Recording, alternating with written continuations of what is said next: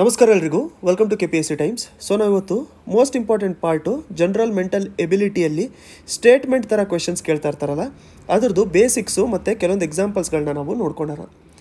ಅದರಲ್ಲಿ ತುಂಬ ಇಂಪಾರ್ಟೆಂಟ್ ಆಗುವಂಥದ್ದು ನಮಗೆ ಅರಿಥಮೆಟಿಕ್ ಪ್ರೋಗ್ರೆಷನ್ ಅಂತ.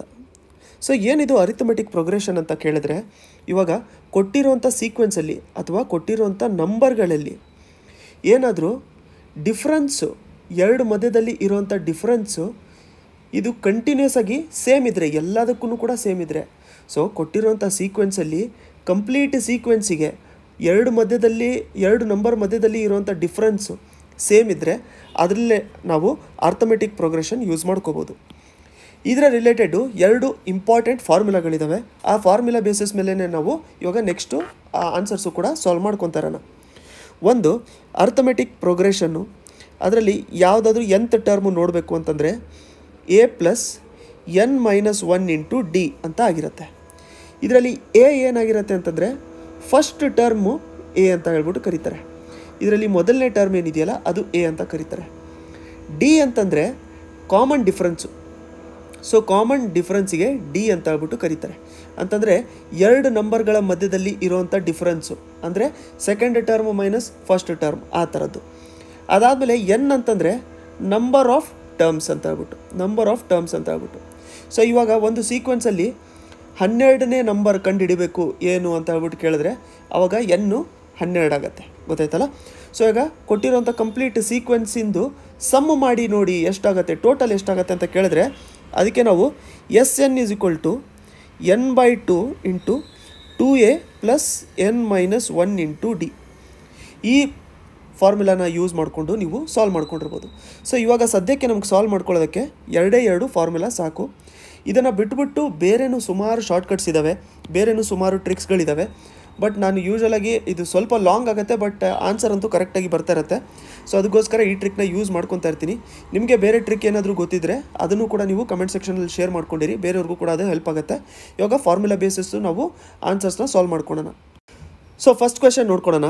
ಇಲ್ಲಿ a person continuously places three marbles marbles ಅಂತಂದರೆ ಗೋಲಿ ಇರ್ತದಲ್ಲ, ಅದಕ್ಕೆ ಮಾರ್ಬಲ್ಸ್ ಅಂತ ಹೇಳ್ಬಿಟ್ಟು ಕರೆಯೋಣ ಎಕ್ಸಾಂಪಲ್ ಸೊ ಮೂರು ಮಾರ್ಬಲ್ ಇಡ್ತಾರಂತೆ ಮೊದಲನೇ ಬಾಕ್ಸಲ್ಲಿ ಸೊ ಇಲ್ಲಿ ಎಕ್ಸಾಂಪಲ್ಲು ಬಾಕ್ಸ್ಗಳು ಇವೇ ಇದ್ದಾವೆ ಅಂತ ಅಂದ್ಕೊಳ್ಳೋಣ ಸೊ ಮೊದಲನೇ ಮಾ ಬಾಕ್ಸಲ್ಲಿ ಮೂರು ಮಾರ್ಬಲ್ ಇಡ್ತಾರಂತೆ. ಎರಡನೇ ಬಾಕ್ಸಲ್ಲಿ ಐದು ಮಾರ್ಬಲ್ ಇಡ್ತಾರಂತೆ. ಮೂರನೇ ಬಾಕ್ಸಲ್ಲಿ ಏಳು ಮಾರ್ಬಲ್ ಇಡ್ತಾರಂತೆ. ಸೊ ಇದೇ ಥರ ಕಂಟಿನ್ಯೂಸ್ ಆಗಿ ಇಡ್ತಾ ಹೋಗ್ತಾರಂತೆ. ಹದಿನಾರನೇ ಬಾಕ್ಸಲ್ಲಿ ಎಷ್ಟು ಮಾರ್ಬಲ್ ಇಟ್ಟಿರ್ತಾರೆ ಅಂತ ಹೇಳ್ಬಿಟ್ಟು ಇವರು ಕೇಳ್ತಾ ಇದ್ದಾರೆ. ಸೊ ಇದರಲ್ಲಿ ನಾನು ಲಾಂಗ್ ಫಾರ್ಮಲ್ ಮಾಡ್ತಾ ಇರ್ತೀನಿ ಬಟ್ ನೀವು ಇದನ್ನು ಫಾರ್ಮುಲಾ ಯೂಸ್ ಮಾಡ್ಕೊಂಡು ಮಾಡ್ಕೊಂಡು ಮಾಡ್ತಾ ಇರೋ ಹಂಗೆ ನಿಮಗೆ ಶಾರ್ಟ್ಕಟ್ಟು ಕೂಡ ಬರ್ತಾ ಇರುತ್ತೆ. ಸೊ ಫಸ್ಟು ಕೊಟ್ಟಿರೋದು ಏನೇನು ಅಂತ ಹೇಳ್ಬಿಟ್ಟು ಬರ್ಕೋಬೇಕು. ಎ ಏನು? ಅಂದರೆ ಫಸ್ಟ್ ಟರ್ಮ್ ಏನು? ಫಸ್ಟ್ ಟರ್ಮು ಮೊದಲನೇದು. ಮೊದಲನೇ ಬಾಕ್ಸಲ್ಲಿ ಮೂರು ಮಾರ್ಬಲ್ ಇಟ್ಟಿರ್ತಾರೆ. ನೆಕ್ಸ್ಟು ಡಿ ಏನು ಅಂತ ಹೇಳ್ಬಿಟ್ಟು ಕಂಡುಹಿಡಬೇಕು. ಡಿ ಏನು ಮಾಡಬೇಕು ಅಂತಂದರೆ ಕಂಟಿನ್ಯೂಸ್ ನಂಬರ್ ಇರೋದ್ರಿಂದ ಎರಡು ನಂಬರ್ಗಳ ಮಧ್ಯದಲ್ಲಿ ಗ್ಯಾಪ್ ಬಂದ್ಬಿಟ್ಟು ಎರಡಿದ್ದಾವೆ ಅಂತಂದರೆ ಫೈ ಮೈನಸ್ ತ್ರೀ ನಮಗೆ ಟೂ ಬರುತ್ತೆ. ಅದೇ ಥರ ಸೆವೆನ್ ಮೈನಸ್ ಫೈನು ಕೂಡ ನಮಗೆ ಟೂ ಬರುತ್ತೆ. ಸೊ ಎರಡು ನಂಬರ್ ಮಧ್ಯದಲ್ಲಿ ಡಿಫ್ರೆನ್ಸ್ ಬಂದ್ಬಿಟ್ಟು ಟೂ ಇದೆ. ಸೊ ಇವಾಗ ನಾವು ಎನ್ ಏನು ಅಂತಂದರೆ ಹದಿನಾರನೇ ಬಾಕ್ಸಲ್ಲಿ ಎಷ್ಟಿದೆ ಅಂತ ಹೇಳ್ಬಿಟ್ಟು ಕಂಡುಹಿಡಬೇಕು. ಸೊ ಹದಿನಾರು ಎನ್ ಹದಿನಾರು ಆಗುತ್ತೆ. ಸೊ ಇವಾಗ ನಾವು ಎ ಪಿ ಕಂಡಿಡೋಣ ಎ ಪಿ ಎಷ್ಟು? ಹದಿನಾರನೇ ಟರ್ಮ್ ಯಾವುದು ಅಂತ ಹೇಳ್ಬಿಟ್ಟು ಕಂಡುಹಿಡಬೇಕು. Formula ಬರ್ಕೊಳ್ಳೋಣ a plus n minus one into d ಅಂತ. ಸೊ ನೀವು ಜಾಸ್ತಿ ಪ್ರಾಕ್ಟೀಸ್ ಮಾಡ್ತಾ ಮಾಡ್ತಾ ಡೈರೆಕ್ಟಾಗಿ solve ಮಾಡ್ಕೊಂಬಿಡ್ಬೋದು three plus sixteen minus one into two ಆಗುತ್ತೆ next three plus fifteen into two ಆಗುತ್ತೆ ನೆಕ್ಸ್ಟು ತ್ರೀ ಪ್ಲಸ್ ಥರ್ಟಿ ಆಗುತ್ತೆ ಆನ್ಸರ್ ಬಂದ್ಬಿಟ್ಟು ಥರ್ಟಿ ತ್ರೀ ಆಗುತ್ತೆ ಸೊ ಇದಕ್ಕೆ ಆನ್ಸರ್ ಬಂದ್ಬಿಟ್ಟು ಏನಾಗುತ್ತೆ ಅಂತಂದರೆ ನಮಗೆ ಬಿ ಥರ್ಟಿ ತ್ರೀ ಆಗಿರುತ್ತೆ. ಸೊ ಹದಿನಾರನೇ ಬಾಕ್ಸಲ್ಲಿ ಎಷ್ಟೇ ಮಾರ್ಬಲ್ ಇಟ್ಟಿರ್ತಾರೆ ಅಂತಂದರೆ ಮೂವತ್ತ್ಮೂರು ಅಂತ ಹೇಳ್ಬಿಟ್ಟು ಆಗಿರುತ್ತೆ. So answer thirty three next problem ನೋಡ್ಕೊಳೋಣ. ಇದರಲ್ಲಿ ಏನು ಹೇಳ್ತಿದ್ದಾರೆ ಅಂತಂದರೆ ಫಸ್ಟ್ ಮಿನಿಟಲ್ಲಿ ಗೀತಾ ಹದಿನೈದು ಸ್ಟೆಪ್ ಹತ್ತಾರಂತೆ ಬಿಲ್ಡಿಂಗಿಂದು ಸೊ ಫಸ್ಟ್ ಮಿನಿಟಲ್ಲಿ ಹದಿನೈದು ಸ್ಟೆಪ್ ಹತ್ತಾರಂತೆ ನೆಕ್ಸ್ಟು ಏನಾಗುತ್ತೆ ಅಂತಂದರೆ ಹದಿನೈದು ಮೈನಸ್ ಮೂರಾಗುತ್ತೆ ಅದೇ ಥರ ಕಂಟಿನ್ಯೂ ಆಗ್ತಾ ಹೋಗ್ತಾರತ್ತೆ after that she climbs three steps less then the previous minute so three steps less ಅಂತಂದರೆ ಡಿ ನಮಗೆ ಅಲ್ಲೇ ಸಿಕ್ಕಿರುತ್ತೆ. ಮೂರು ಅಂತ ಹೇಳ್ಬಿಟ್ಟು ಯಾಕಂತಂದರೆ ಡಿಫ್ರೆನ್ಸು ಮೂರೇ ಇರುತ್ತೆ. ಪ್ರತಿ ಟೈಮು ಕೂಡ ಡಿಫ್ರೆನ್ಸ್ ಮೂರೇ ಇರುತ್ತೆ. ಸೊ ಫಸ್ಟ್ ಟರ್ಮ್ ಏನು ಅಂತಂದರೆ ನಮಗೆ ಹದಿನೈದಾಗಿರುತ್ತೆ. ಇಲ್ಲಿ total number of steps climbed by Geeta in five minutes so first ಮಿನಿಟಲ್ಲಿ ಹದಿನೈದು ಹತ್ತಿದ್ರು ಸೆಕೆಂಡ್ ಮಿನಿಟಲ್ಲಿ ಹದಿನೈದು ಮೈನಸ್ ಮೂರು. ಅದಾದಮೇಲೆ ಅದರದ್ದು ಮೈನಸ್ ಮೂರು. ಸೊ ಇಲ್ಲಿ ಐದು ನಿಮಿಷ ಅಂತಂದರೆ n is equal to five ಅಂತ ಆಗಿರುತ್ತೆ ಇವಾಗ ಈ ಪ್ರಾಬ್ಲಮಲ್ಲಿ ಕೇಳ್ತಾ ಇರೋಂಥದ್ದು ಏನು ಅಂತಂದರೆ ಟೋಟಲ್ ನಂಬರ್ ಆಫ್ ಸ್ಟೆಪ್ಸ್ ಅಂತಂದರೆ ಸಮ್ ಅಂತ ಕೇಳ್ತಾ ಇದ್ದಾರೆ ಸಮ್ಮು ಟೋಟಲ್ ಎಷ್ಟು ಅಂತ. ಸೊ ಸಮ್ಮಿಗೆ ನಾವು ಫಾರ್ಮುಲಾ ನೋಡ್ಕೊಂಡಿದ್ವಿ. ಎಸ್ ಎನ್ ಫಾರ್ಮುಲಾ ಕರೆಕ್ಟ್ ಅಲ್ವಾ? So s n is equal to n by two into two a plus n minus one into d ಅಂತ ಹೇಳ್ಬಿಟ್ಟು ನಾವು ಫಾರ್ಮುಲಾ ನೋಡ್ಕೊಂಡಿದ್ವಿ. ಸೊ ಇದು ಎನ್ ಏನಿದೆ ಇಲ್ಲಿ? ಐದು ನಿಮಿಷ. ಸೊ ಇಲ್ಲಿ ಎರಡಿದೆ ಟೂ ಇಂಟು ಹದಿನೈದು ಪ್ಲಸ್ ಐದು ಮೈನಸ್ ಒಂದು ಇಂಟು ಡಿ ಅಂತಂದರೆ ನಮಗೆ ಮೂರಿದೆ so five by two fifteen two Jha thirty thirty plus four into three so ಇದೆಷ್ಟಾಗಿರುತ್ತೆ ಅಂತಂದರೆ ನಮಗೆ ಇದು five by two thirty plus twelve so thirty plus twelve ಎಷ್ಟಾಗಿರುತ್ತೆ ಅಂತಂದರೆ ನಮಗಿಲ್ಲಿ five by two into forty two ಆಗುತ್ತೆ.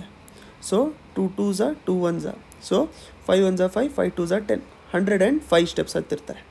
Hundred and five steps ಹತ್ತಿರ್ತಾರೆ. So ಅದಕ್ಕೆ answer ಏನಾಗಿರುತ್ತೆ? ಟೋಟಲಾಗಿ ಐದು ನಿಮಿಷದಲ್ಲಿ ನೂರ ಐದು ಸ್ಟೆಪ್ಸು ಹತ್ತಿರ್ತಾರೆ ಅಂತ ಹೇಳ್ಬಿಟ್ಟು ಆನ್ಸರ್ ಬಂದಿರುತ್ತೆ. ಸೊ ಇದೇನಾಗುತ್ತೆ ಅಂತಂದರೆ ನೀವು ಎಷ್ಟು ಜಾಸ್ತಿ ಪ್ರಾಬ್ಲಮ್ಸ್ ಮಾಡ್ತಾ ಹೋಗ್ತಾ ಇರ್ತೀರಾ, ಅಷ್ಟು ನಿಮಗೆ ಶಾರ್ಟ್ಕಟ್ ಒಂದು ನಾಲ್ಕೈದು ಸ್ಟೆಪ್ಸು ಸ್ಕಿಪ್ ಮಾಡಿಬಿಟ್ಟು ಡೈರೆಕ್ಟಾಗಿ ಇದೇ ಸ್ಟೆಪ್ಪಿಗೆ ಬರ್ಕೊಂಡ್ಬಿಟ್ಟಿರ್ತಾರೆ. ಆವಾಗ ನಿಮಗೆ ಇನ್ನೂ ಈಸಿಯಾಗಿ ಬರ್ತಾ ಇರುತ್ತದು. Next problem ನೋಡ್ಕೊಳೋಣ.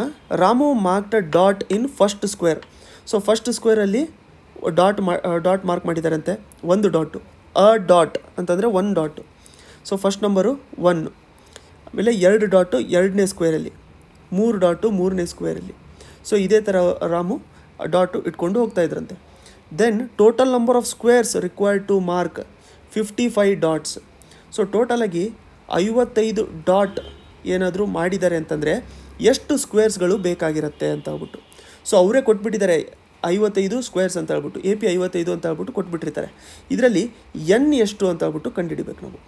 ಎಷ್ಟನೇ ಡಾಟು ಅಂತ ಹೇಳ್ಬಿಟ್ಟು ಆ ಥರದ್ದು ನಮಗೆ ಕಂಡುಹಿಡಿಬೇಕು. ಎ ಏನಾಗುತ್ತೆ? ಎ ಒನ್ ಆಗುತ್ತೆ. ಡಿ ಏನಾಗುತ್ತೆ? ಟೂ ಮೈನಸ್ ಒನ್ ಅದು ಕೂಡ ಒನ್ ಆಗಿರುತ್ತೆ. ಸೊ ಅದಕ್ಕೆ ನಾವು ಇವಾಗ ನೋಡ್ಕೊಳೋಣ. ಇದು ಎಷ್ಟನೇ ಡಾಟಲ್ಲಿ ಬರುತ್ತೆ ಅಂತ. ಸೊ ನಮಗೇನು? A p is equal to a plus n minus one into d ಅಂತ ಆಗಿರುತ್ತೆ. ಸೊ ಎ ಪಿ ಐವತ್ತೈದನೇ ಡಾಟ್ ಇಟ್ಟಾಗ ಎಷ್ಟು ಸ್ಕ್ವೇರ್ಸ್ ಆಗಿರುತ್ತೆ ಅಂತ? ಒನ್ ಪ್ಲಸ್ ಎನ್ ಏನಿದೆ? N minus one. ಡಿ ಏನಿದೆ? ಒನ್ ಇದೆ. ಸೊ ಒನ್ ಪ್ಲಸ್ ಎನ್ ಏನಿದೆ? ಎನ್ ಮೈನಸ್ ಒನ್ನೇ ಉಳಿಯುತ್ತೆ. ಇಲ್ಲಿ ಫಿಫ್ಟಿ ಫೈ ಆಗಿರುತ್ತೆ. ಅದಾದಮೇಲೆ one plus n minus one. Minus one plus one cancel fifty five ಆಗಿರುತ್ತೆ.